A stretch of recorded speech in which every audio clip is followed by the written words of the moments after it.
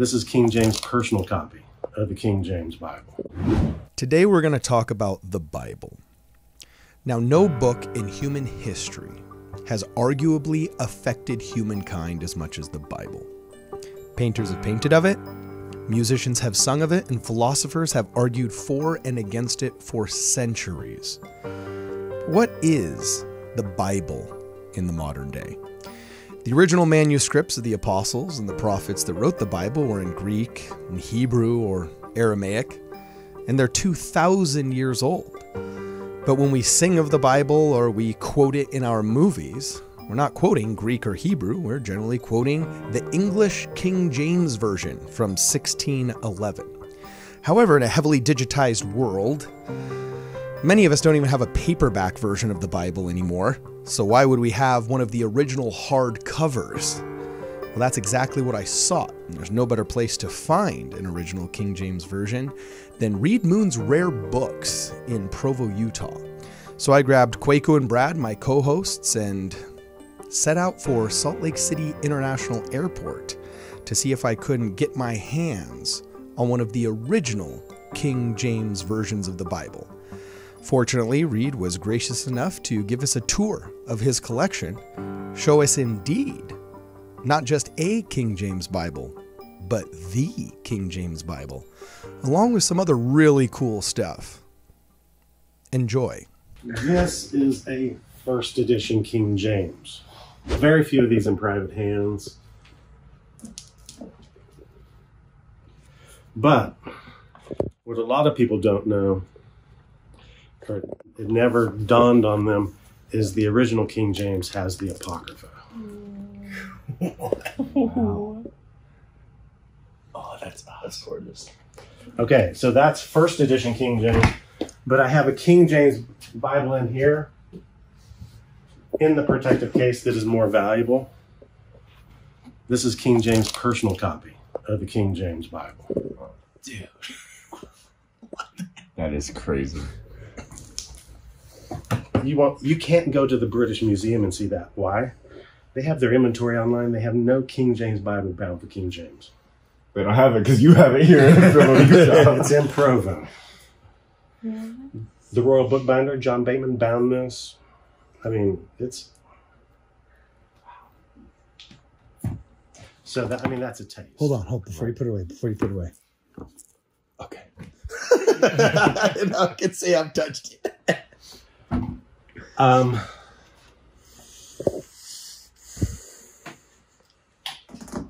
You were gonna show him the the the. Oh, okay. Sorry, I forgot. I don't You gotta, you gotta don't work wanna- your way to it. I know, I know. It's a five course meal. Sorry. this is something most people will never see in their lifetime. It's a Hebrew grammar book by Seixas. Dude. Do you, you get where this is going? Yeah. So Joseph Smith says, "Hey, we need to learn Hebrew, School of the Prophets." Where are the first meetings held? School of the Prophets. In the the top of upper the- top of the William Knight. the general store, yeah. Nulkewit. No, okay. This is Newel K. Whitney's copy of the Hebrew grammar book. This is the book used in the School of the Prophets. Wow. This is where they find this word N-A-V-U, Nauvoo. Nauvoo comes from this book, which means beautiful. It's right here. That, you haven't seen that one. No, that's awesome. Holy crap, that is wicked. Well, righteously wicked. Oh man, I'm botching 70s Gen X. Gen X speak here, you know. Wow. Okay. A little off subject, but this is a first edition of The Hobbit. Oh, nice. Wow. But if I'm pulling it out of the vault, something's going on. Yes, it is signed Uh-uh. by J.R.R. Tolkien. Oh, There is not a copy of this available for sale in the world. oh shit. Sell for a million dollars. Uh, I think it'd be a little bit more than that, dog. Do you know that I have kind of my pride and joy? I have at least one set of scriptures that belong to every president of the Church of Jesus Christ of Latter-day Saints. Name anyone, and I will show it to you. Except Nelson, he's still using his. Um, Uh, John Taylor. Okay, John Taylor. Um, that will be over in this wallet. I never imagined books to be in vaults. Pretty cool. yeah, Yeah. keep them safe. So you you don't wear like special gloves. You just you just handle Oh, that is the number one comment I get on TikTok. You're not using white gloves. The latest, I mean, landmark study has shown that gloves have done more damage than they ever prevented.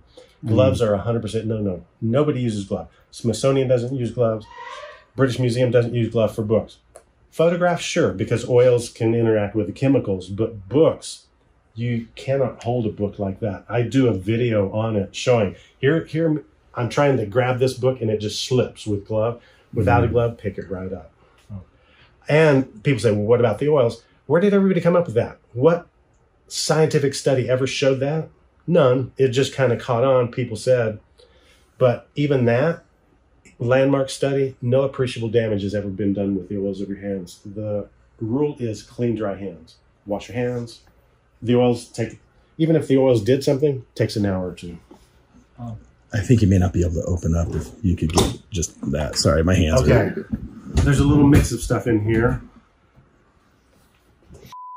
Stuff and books. and John Taylor in the same. This is not an endorsement of Liberty Safes. No. Oh, no. Oh, you have to tell them what the thing is. Okay, there's only two surviving ex- but John Taylor is called to translate, well, to publish the Book of Mormon. He doesn't translate it, but he does take credit. That was a little issue with yeah, but with the guy who actually translated it, and he a guy named um, Char- uh, Bolton, uh, which I actually have his, cop- his copy right there, but from John Taylor to Parley P. Pratt. So John Taylor gives this to Parley P. Pratt, copy of the Book of Mormon. Oh, oh so that's both a Taylor and a Pratt. Yeah. Yeah. Heber J. Grant. Heber J. Grant. Now, what are we playing? Whack a mole? Obviously, we're gonna end with asking Joseph Smith. That's the one we all really.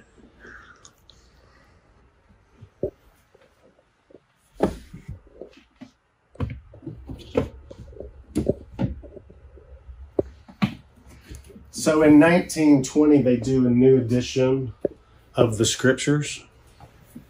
Who's on the scripture committee? Talmage, Joseph Fielding Smith. They finish it and they go, We should probably give a copy to the president of the church. So Talmage gives this copy to Heber J. Grant. This is Heber J. Grant's copy of the Book of Mormon. Also, his Doctrine and Covenants has three paragraphs in his personal Doctrine and Covenants. It says this More than any other book, I have loved the Doctrine and Covenants. Whoa, who said that? Heber J. Grant. Interesting. He said, More than any other book, I have loved the Doctrine and Covenants. The teachings of our Heavenly Father and Jesus Christ have been an inspiration to me since my youth.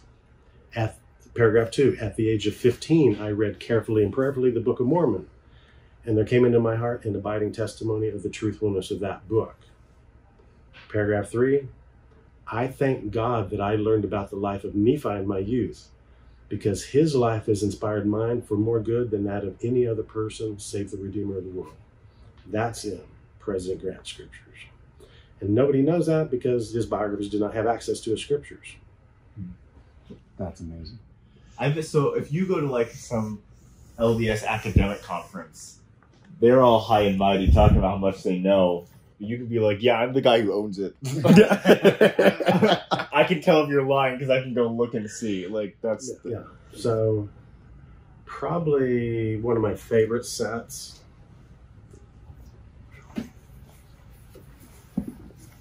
Spencer W. Kimball. He has marked it up, made notes, tipped in pages. I mean, Okay, let me see. Does he have The list. W. Kimball. notes around? Like priesthood stuff? Yeah.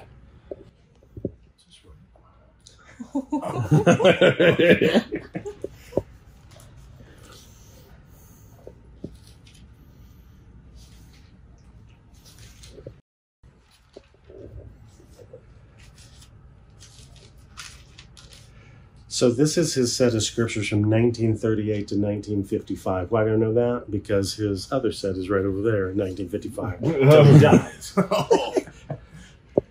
um, Moses 7, where it talks about blackness came upon the children of Canaan.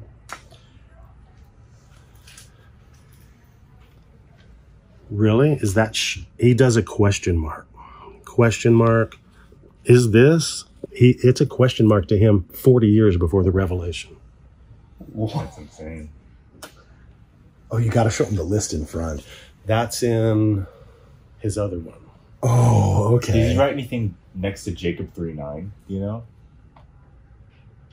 Mm. Look it up. oh, oh. Oh! no